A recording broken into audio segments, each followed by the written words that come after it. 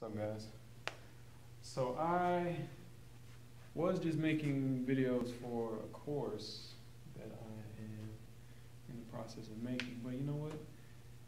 I think that this is highly relevant, and I think it's worth my time to make, okay? Today is May 4th, 2018, okay? There's a lot of people talking about this and that.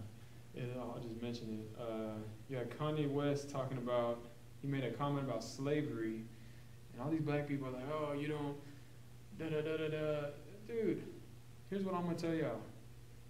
We're all slaves, bro, whether you understand that or not. And look, I wanna kind of focus on making a lot of videos about investing because I feel like it's a lot safer. Me saying this stuff, I don't know, I don't want anybody to get too mad at me. but look, dude, we are all slaves. I'm gonna explain to you how, dude. Has everything to do with monetary manipulation. Whether you know it or not, dude, we are all slaves, dude. We have had a hundred years of economic uh, progress jacked from us. We're still burning coal to generate electricity like cavemen. I know I look like a caveman, but uh, yeah, uh, we are still. We are still burning coal to generate electricity. This is 100 years after Nikola Tesla, for one. There's been plenty of inventors who have invented all types of different, you know, ways to generate electricity. But yeah, Nikola Tesla, for one, over 100 years ago, invented ways to just literally suck energy out of the ether, out of the energy, the infinite energy field that we just, that we're floating in. He invented technology where you can literally suck the energy out of the ether, out of the freaking, the field that we exist in. And we're still, we're, and people want to talk about global warming you know, no, dude, this is all, we're slaves, dude. We're, this is all basically sabotage. I'm gonna be honest, it's sabotage. Why are we still using oil? Because they can control it. Why are we still using coal? Because they can control it. Why, a lot of things. Why are people working nine to five jobs all day? Because they've manipulated the economy to that point. Why, why are you afraid every day that you know you might not be able to pay rent? You got to go to work here. You might da da da. You know, you're like basically a slave to your freaking these corporations. You're afraid you're gonna lose your job if you don't go to work today. If you don't do exactly as they say, your whole life depends on it. Modern day slavery. It's not a joke. So all these people talking about blah blah blah blah blah, dude. We're all fucked, dude. Like slaves. Like I, guess what I'm trying to say is, yeah, you got black people talking about, oh man, Kanye, you don't understand, man. You don't understand the struggle for us black people. Dude, we are all fucked over right now. We are all being fucked over. It ain't about black people, ain't about white people, ain't about Chinese people, Mexican people, nothing like that. Look, it's it's well beyond that, dude. So I'm gonna try to explain it to you, and uh, let's get it. It starts with corporatism. It starts with corporatism, and then it's also the value of the dollar and inflation. Gosh, this is gonna be a freaking whammy to explain. Okay, it starts with fractional reserve banking. What is fractional reserve banking? It's a scam. Fractional reserve banking is where uh, banks literally they hold on to a little bit of gold and they print receipts. Oh gosh, this is gonna be a long video. Let me try to narrow it down easier. Uh,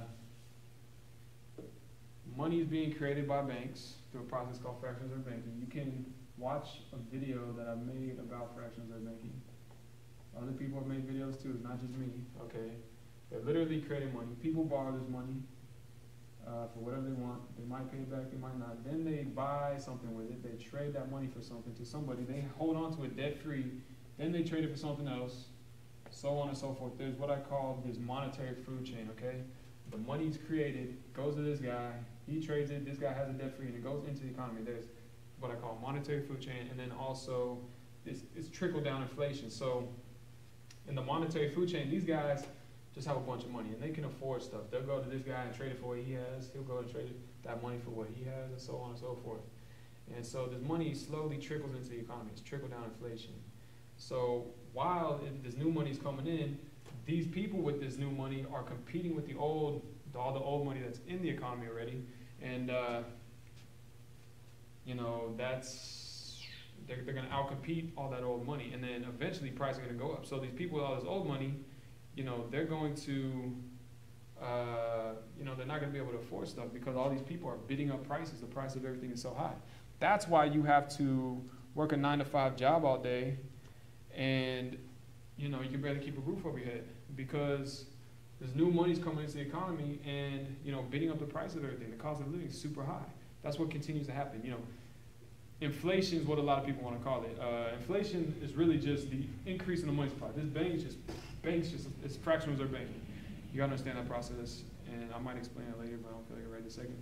But generally speaking, is this trickle down inflation. Inflation is just the increase in the money supply, and eventually that increase in the money is going to lead to higher prices because these people are competing with all these other people, you know, for goods and services, bidding up the price of everything, you know, putting in higher bids, competing by offering more and more money. So the prices go up naturally. And uh, you can see that with college tuition. You know, people will come, go to the bank, get as much money as the colleges, you know, ask for, and then all these other people will try to save money for tuition. You know, they can't afford that. And uh, same thing with everything else in the economy too. And so really it's this money creation that is the, the beginning of it all. And, uh, you know, people up here, they might be well off. They still have to do some type of, you know, work or offer some type of good or service to get the money when this dude borrows it. This guy, he's in debt. He might never get that money back. He might never pay back. Uh, they, the bank might confiscate his property and then sell it to somebody to get some money back. That's, you know, what they do. And uh, so he might be screwed, he might not be. He might get the money back eventually, either way. Money's coming in uh, constantly. And right now, it's, it's basically perpetual debt. Right now, the United States, uh, the United States is like this person. The United States is just a government who is borrowing money from the, it issues treasury bonds and then borrows money from people, whoever it might be. Eventually, the Federal Reserve, which is a privately owned bank, ends up buying a lot of these treasury bonds. So the government is issuing treasury bonds. Uh, you know, uh, banks will buy them sometimes. They'll literally trade. Put a dollar sign. Yeah, but the, the banks will literally create money. Uh, I mean, there's a lot. To, I don't know. See, here's one thing I don't know about banking. I don't know if, if and when they create the money so this guy can uh, do something with it. If this guy brings that money back, does this bank just have it to do whatever they want with it, or what? I don't know that part. So either way, I know that they have money and they're going to buy these treasury bonds. Eventually, when they buy the treasury bonds, the Federal Reserve will buy it from them. You know, uh, the Federal Reserve literally just prints money to buy. I know that. So the Federal Reserve will literally just print money and buy these treasury bonds, not directly, but indirectly from the bank but we can just leave it like that for now. And uh, perpetual debt, you know, uh, $21 trillion right now. Uh, it's all part of the same thing. Money's coming in the government. The government is like this guy, getting it, spending on something. Those people who get it, you know, uh, they'll they'll just the trickle down inflation. Get it? Sorry, I'm sorry. I'm not, I'm not trying to lose you here. I'm not trying to get lost either. But uh, generally speaking, yeah the government indirectly is going to get money from the bank, and then boom, same thing. Uh, like I just explained, treasury bonds, they're going to buy it. Government's going to get money directly. Treasury bonds in that mix. Uh, I just wanted to show you the Federal Reserve part because it's relevant. But it's perpetual debt, $21 trillion in debt. I guess I'll draw a treasury bond right here. Uh, yeah, and they get money comes back in the same way, twenty-one trillion dollars in perpetual debt. As this money comes in and prices go higher, billion, no, trillion. I off the screen? No, not yet. Uh, yeah, as prices go higher, they'll have to borrow more money to afford stuff, and it's just perpetual. It's stupid, it's perpetual, and all this new money coming in is always competing with the old money. All these people at the bottom, price of living's going up, they can't afford nothing. You know, these people right here are getting the money direct off the printing press or whatever. They, they might be doing all right, you know, but all these other people stressing. That's modern day slavery, dude. Uh, what else could I explain? Like I said, the Federal Reserve plays a in this because they are literally just printing money. And they are a privately owned bank, if you did not know that. And uh, they'll eventually buy the treasury bonds, and the bank has more See, the Federal Reserve is going to print the money, buy the treasury bonds from the bank who traded money already to the government who then spends it. So they, they're holding on to a treasury bond at the point that they traded money for. And then the Federal Reserve, the Federal Reserve literally just gonna print money to buy those treasury bonds, and they're holding on to a lot of the government debt, uh, the treasury bonds, and, uh, just perpetual, they just keep printing money, print, print, print, print, print. These treasury bonds eventually get in there, and, uh, twenty-one trillion dollars worth of treasury bonds, apparently, that, uh, something like that, twenty-one trillion dollars in debt, that's what's going on, and, uh, yeah, so all that new money coming in is out competing all the old money, price of living goes up, we're all basically slaves to this system because we're being outcompeted with all this new money that's being created. Dude, it's impossible to live. And so, yeah, we gotta work at corporations and we gotta worry about losing our job because we could barely afford to keep a roof over our head and stuff, you know? It's, uh, it's modern day slavery, dude. Uh, we all work for money and these people are literally just printing it. That's what it comes down to. And, uh, we're all slaves, dude. We're all being, I'm not gonna say we're all slaves, but we're all kind of being screwed over. Uh, that's what Occupy Wall Street was talking about. That's what, uh, that's pretty much what Occupy Wall Street was talking about. And, uh, Ron Paul talks about that in the Fed, stuff like that. Uh, it's pretty basic. It's pretty, it really is. Uh, so when everybody's always talking about, oh, I'm so blah, blah, blah, I'm black and my life sucks and this and that, dude, everybody's being screwed over, bro. It's not just you. Believe me.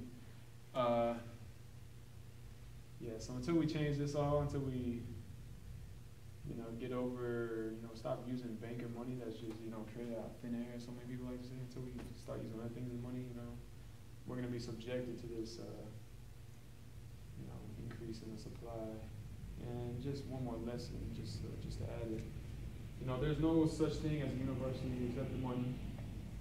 There's only, you know, money that certain groups of people are willing to trade their stuff for. So only within these groups, that's what this brackets are for, only within these groups is any type of money, you know, universally accepted. You cannot bring your dollar to China uh, and expect people to accept it.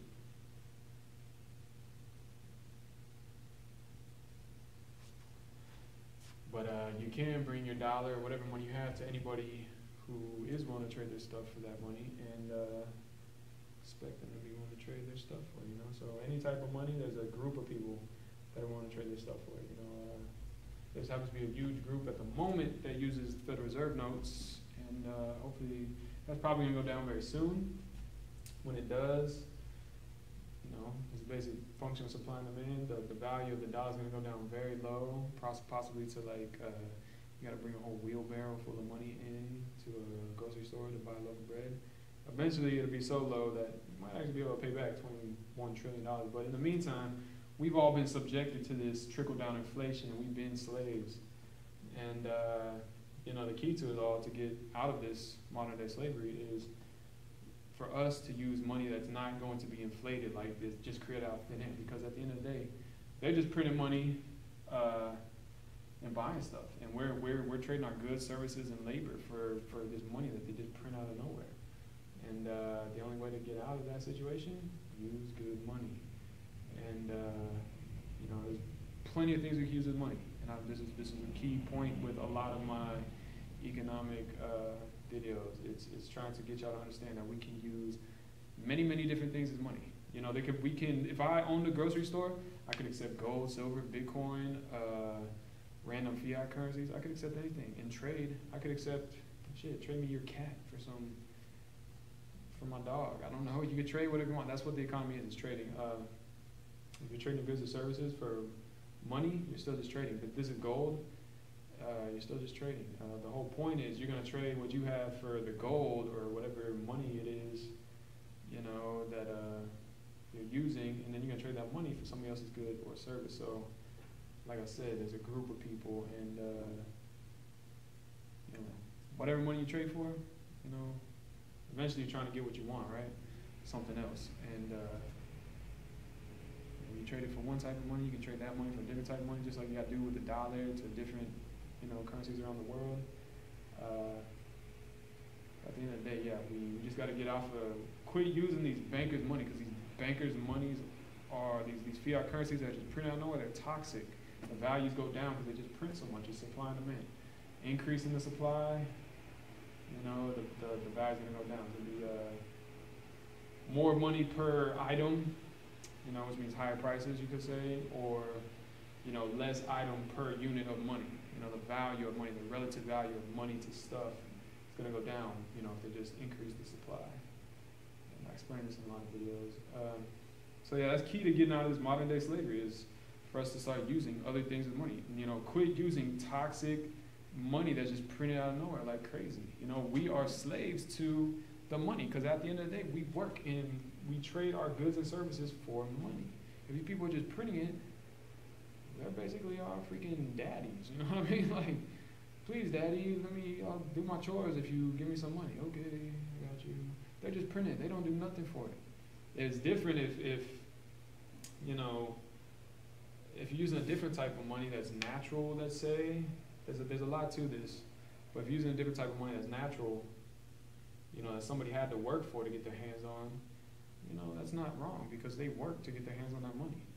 You know, uh, there could be a lot of manipulation there. You know, certain monies could already have the whole entire supply corner and stuff like that. But, uh, you know, generally speaking, we start adopting new money, use the new money, you know, multiple different types of money. Like I said, if I own a grocery store, I could trade it for gold, silver, Bitcoin, other stuff. I could accept multiple things of money. If I didn't want to hold on to it for long, I just trade, you know, exchange it for a different type of money. Simple. Uh, that's very simple stuff. And uh, I've already proposed my idea for it's very basic.